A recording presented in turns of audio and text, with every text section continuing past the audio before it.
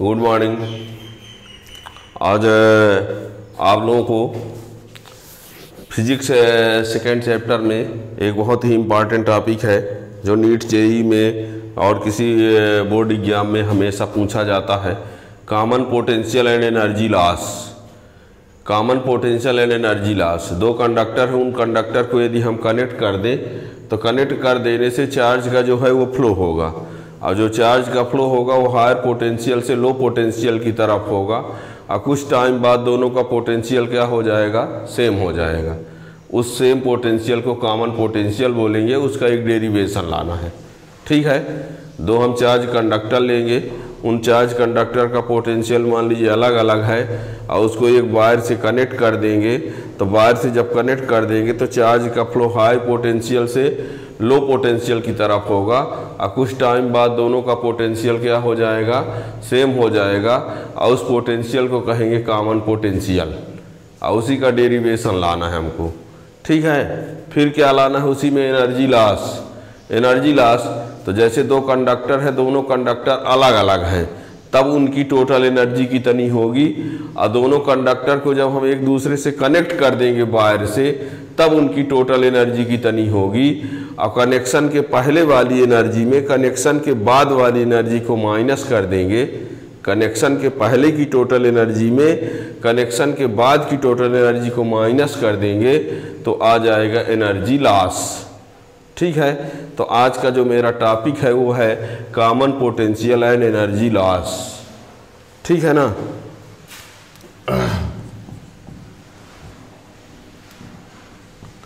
common potential and energy loss ठीक है तो पहले कॉमन पोटेंशियल होता क्या है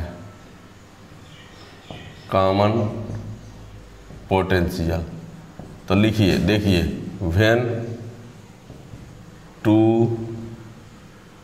charge conductor are connected to each other then charge flows from higher potential to lower potential charge flow from higher potential to lower low potential and After some time, their potential becomes equal. That potential is called common potential ये तो definition हुई दो charge conductor है और उन दोनों को जब हम वायर से कनेक्ट कर देंगे तो चार्ज का फ्लो होगा हायर पोटेंशियल से लोअर पोटेंशियल की ओर और यदि कह दिया जाए चार हायर लोअर पोटेंशियल है नहीं तो इसका मतलब पहले से इक्वल है तब तो कॉमन पोटेंशियल वही है ना चार्ज का फ्लो हाई से लो होता है यदि हाई लो पोटेंशियल नहीं है तो चार्ज का फ्लो होगा ही नहीं ये वैसे न जैसे लिक्विड का फ्लो हाई लेवल से लोअर लेवल की ओर होता है ठीक है ना ये अब हम क्या करते हैं देखिएगा एक कंडक्टर ले लेते हैं ए और दूसरा कंडक्टर ले लेते हैं बी ठीक है इसके कैपेसिटी को ले लेते हैं सी वन इसकी कैपेसिटी को ले लेते हैं सी टू इसको हमने दिया चार्ज Q1 तो पोटेंशियल हुआ V1 और इसके चार्ज Q2 दिया तो पोटेंशियल हुआ V2 सब समझ रहे हैं एक साथ भीड़ हो जाएगी है ना खुद कहो कहाँ से आ गया ए बी दो कंडक्टर हैं इनका इस capacity C one C two है ठीक है ना ए को हमने Q1 चार्ज दिया तो उसका पोटेंशियल हुआ V1 और बी को Q2 चार्ज दिया तो उसका पोटेंशियल क्या है वी टू ये है बिफोर कनेक्शन अब क्या करते हैं ए बी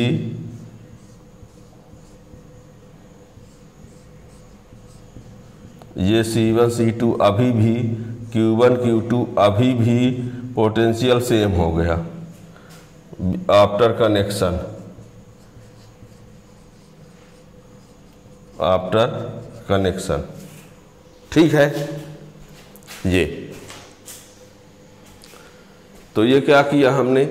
दो कंडक्टर लिया है ए और बी उनका कैपेसिटी है सी वन और सी टू चार्ज दिया है क्यू वन क्यू टू जिसकी वजह से पोटेंशियल क्या है वी वन वी टू जब इन दोनों को हम क्या कर देते हैं कनेक्ट कर देते हैं तो चार्ज जो है हाई पोटेंशियल से लो पोटेंशियल की तरफ जा करके दोनों का पोटेंशियल क्या कर देता है सेम कर देता है और वो सेम पोटेंशियल क्या है भी है ठीक है इस भी का हमको फार्मूला लाना है ठीक है ना तो देखिए क्या करना होगा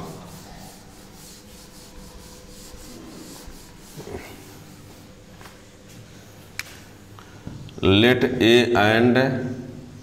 B are two conductor of capacities C1 and C2.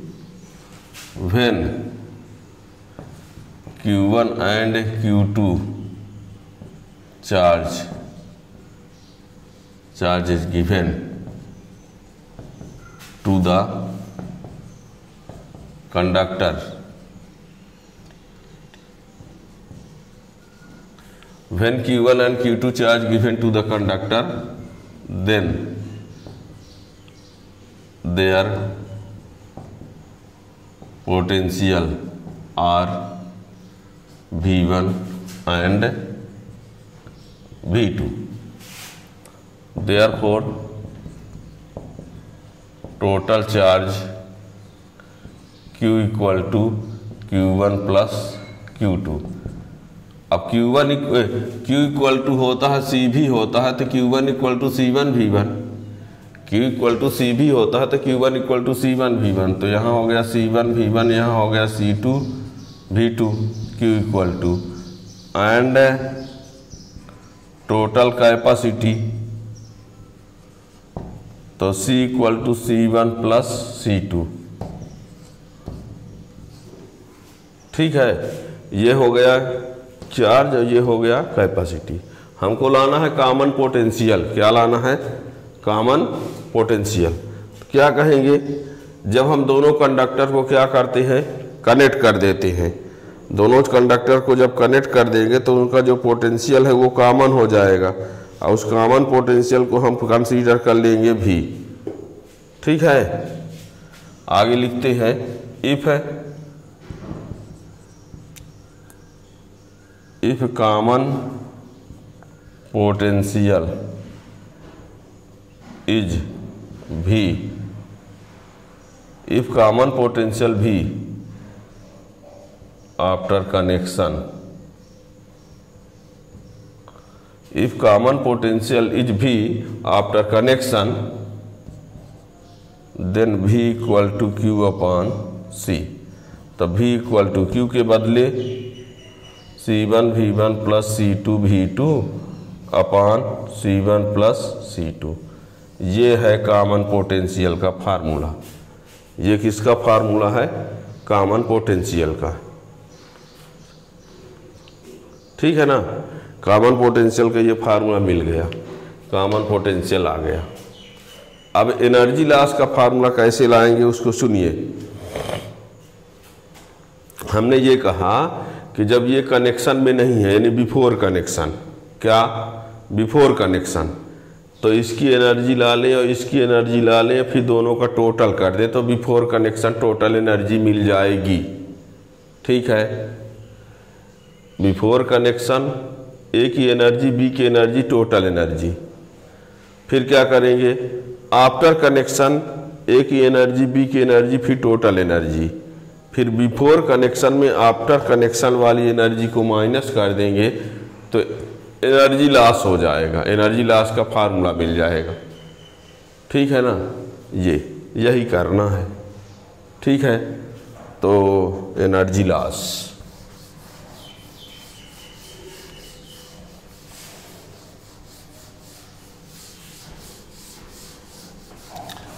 Energy loss के लिए देखिए क्या क्या करना पड़ रहा है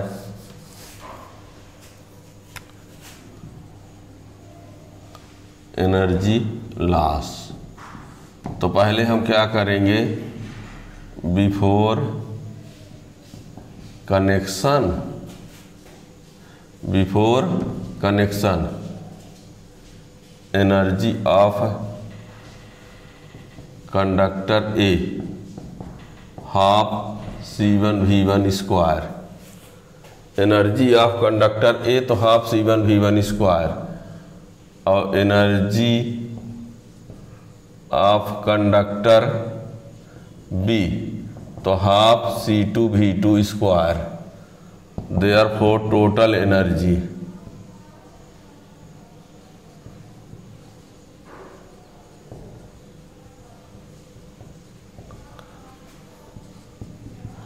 half C one V one square plus half C two V two square तो हाफ कॉमन कर लिया तो ये C one V one square plus C two V two square ये आपका हो गया यू वन की वैल्यू फिर क्या करते हैं आफ्टर कनेक्शन आफ्टर कनेक्शन तो एनर्जी ऑफ कंडक्टर ए निकालेंगे क्या अंतर पड़ेगा अभी दोनों का पोटेंशियल क्या है वी वन वी टू याद करो बिफोर कनेक्शन दोनों का पोटेंशियल क्या है वी वन वी टू और जब कनेक्शन कर देंगे तो पोटेंशियल दोनों का सेम हो जाएगा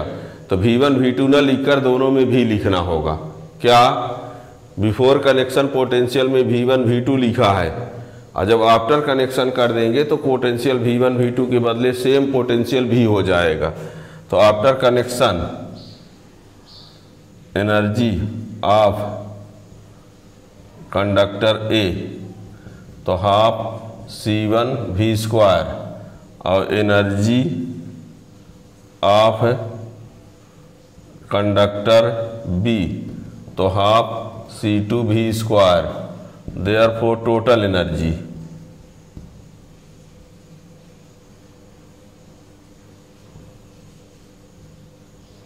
total energy after connection तो U2 two equal to half C one V square plus half C two V square अभी तो क्या है कॉमन पोटेंशियल है है ना भी को बाहर कर लेते हैं देखिएगा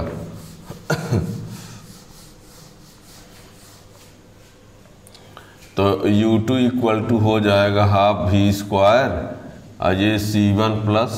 C two ये भी स्क्वायर कॉमन ले C one plus C two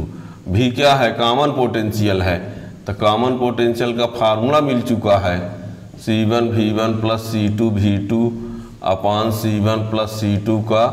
whole square और ये C one plus C two क्या किया हमने वी स्क्वायर कामन लिया और ये भी जो है वो कामन पोटेंशियल है क्या है कामन पोटेंशियल तो जो इसके पहले कामन पोटेंशियल भी की वैल्यू आया है उसको यहाँ पर हमने रख दिया अब ये एक ठो C one plus C two से ये कैंसिल हो जाएगा ध्यान देना one upon two C one V one plus C two V two upon इसका स्क्वायर से ये कैंसिल हो जाएगा तो क्या लिख दिया जाए यहाँ C one plus C two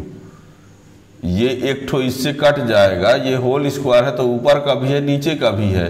तो नीचे से स्क्वायर कट जाएगा इससे तो एक ठो बचा और ये स्क्वायर रहेगा ही क्या कहा हमने ये होल स्क्वायर है इसका मतलब इसका भी स्क्वायर है इसका भी स्क्वायर है तो इसका स्क्वायर ये लिख दिया इसका स्क्वायर कहाँ गया इसका स्क्वायर इट्ठो से कट गया ठीक है तो ये है एनर्जी आफ्टर कनेक्शन ये है एनर्जी बिफोर कनेक्शन और इस वाली एनर्जी में इस वाले को माइनस कर दिया जाए तो एनर्जी का लॉस होगा और जो एनर्जी का लॉस होगा वो हीट फार्म में होगा किसमें हीट फार्म में और जब हीट फार्म में होगा तो ये भी कह सकते हैं कि जो एनर्जी का लॉस हुआ है वो लॉस नहीं दूसरे रूप में चेंज आय हो गया है ना एनर्जी लॉस इसमें इसको माइनस करना है देखना अब माइनस कैसे करेंगे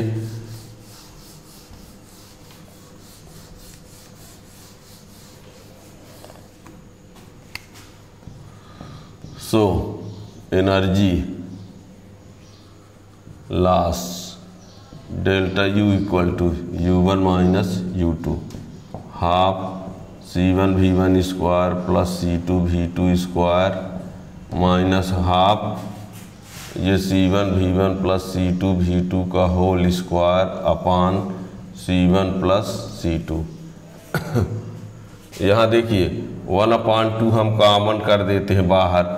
तो यहाँ क्या बचा C one V one square सी two V two square minus इसमें C one V one plus C two V two का whole square upon C one plus C two अब इसका एलसीएम ले लेते हैं इस वन करके इसका इसका एलसीएम यही आएगा देखना यहाँ भी कुछ लोगों को दिक्कत चली जाती है इसका इसका एलसीएम लिया तो इसका एलसीएम यही C one plus C two आया C one plus C one plus C two में वन से डिवाइड करेंगे तो यही आएगा और यही आएगा तो इसका इससे इंटू करेंगे कुछ बच्चों को यहाँ भी दिक्कत आती है अच्छे से देखना C one plus C two का इससे इंटू करेंगे तो पहले सी वन का इंटू दोनों में तो सी वन का सी वन से तो C one square V one square फिर सी वन का इससे तो C one C two V two square फिर C2 का इससे तो C1 C2 V1 स्क्वायर फिर C2 का इससे तो C2 स्क्वायर V2 स्क्वायर ये रहा यानी इसका इसके साथ मल्टीप्लाई हुआ है इसका इसके साथ इंटू किया है और ये प्लस बी का होल स्क्वायर तो ये C one square V one square C two square V two square minus two C one C two V one V two क्या किया ए प्लस बी का होल स्क्वायर इसका square इसका square और two ये two ये दोनों और माइनस लगा है बाहर माइनस की वजह से ये प्लस माइनस ये माइनस प्लस कैंसिल क्या बचा one upon two C one C two इसमें भी है सी वन सी टू इसमें भी है सी वन सी टू इसमें भी है तो C one C two common कर ले और C one plus C two तो बचे है इधर क्या बचा भी टू स्क्वायर प्लस भी one square minus two V one V two ये लीजिए क्या हुआ सी वन सी टू हमने कर दिया कामन तो बचा इसमें भी टू स्क्वायर बचा इसमें भी वन स्क्वायर बचा उसमें two V one V two ठीक है इसको लिख सकते हैं one upon two C one C two upon C one plus C two और ये भी वन माइनस वी टू का होल स्क्वायर चाहे V one minus V two का होल स्क्वायर चाहे V two minus V one ठीक है ना तो ये है एनर्जी लॉस इसी को ये एनर्जी जो लॉस होती है हीट फार्म में होती है किस फार्म में हीट फार्म में हीट फार्म तो इसी को ए एच इक्वल टू लिख सकते हो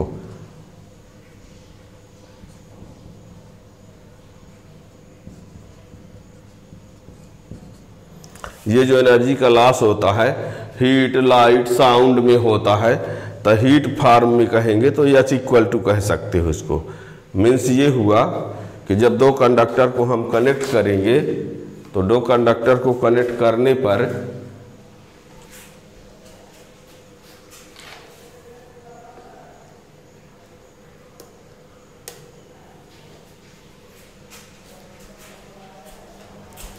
देखो दो कंडक्टर हैं उनको जब कनेक्ट किया गया तो जो एनर्जी का लॉस हुआ वो हीट फार्म में होगा तो ये हीट का फार्मूला बन गया ठीक है ना ये यानी क्या कहा गया एनर्जी का लॉस कब नहीं होगा यदि मान लीजिए दोनों कंडक्टर का पोटेंशियल पहले से ही सेम होता दो कंडक्टर होते उन दोनों कंडक्टर का पोटेंशियल पहले से सेम होता और सेम होता उनको एक वायर से कनेक्ट कर देते तो चार्ज का फ्लो नहीं होता और जब चार्ज का फ्लो नहीं होता तो एनर्जी का लॉस नहीं होता कभी आपसे क्वेश्चन कर दिया जाएगा कि दो कंडक्टर को कनेक्ट करने पर एनर्जी का लॉस कब नहीं होगा तो एनर्जी का लॉस तब नहीं होगा जब दोनों का पोटेंशियल पहले से ही सेम हो ठीक है और एनर्जी का लॉस इसलिए हो रहा है कह दो कि कहीं एनर्जी कम तो नहीं हो रही है तो एनर्जी कम हो रही तो लॉस और एनर्जी बढ़ रही तो गेन पर यहाँ पर ये डेल्टा यू जो है पहले वाले में बात को हटाया गया है तो ये प्लस आई में आएगा होल स्क्वायर है तो पहले वाली एनर्जी में बाद वाली एनर्जी को घटाया जाए और वो पॉजिटिव वैल्यू आए तो मीन्स लॉस और यदि पहले वाली एनर्जी में बाद वाली एनर्जी को माइनस किया जाए और निगेटिव आए है ना तो इसका मीन्स हुआ कि एनर्जी इंक्रीज आए हो रही है ठीक है ना तो यहाँ हमने पहली एनर्जी में से बाद वाली एनर्जी को माइनस किया है तो जो वैल्यू आएगी वो पॉजिटिव आएगा क्योंकि यहाँ होल स्क्वायर लगा है इसका मतलब ये एनर्जी का लॉस हुआ अब एनर्जी का लॉस होने का मतलब होता है कि ये एनर्जी एक दूसरे फार्म में चेंज हो गई और वो एनर्जी हीट फार्म में चेंज हो गई ठीक है ना तो इससे जो क्वेश्चन बनते हैं सभी स्टेट बोर्ड सी बोर्ड और नीट जेई में इससे न्यूमेरिकल क्वेश्चन आप लोगों से पूछे जाएंगे ठीक है ना ध्यान रखना थैंक यू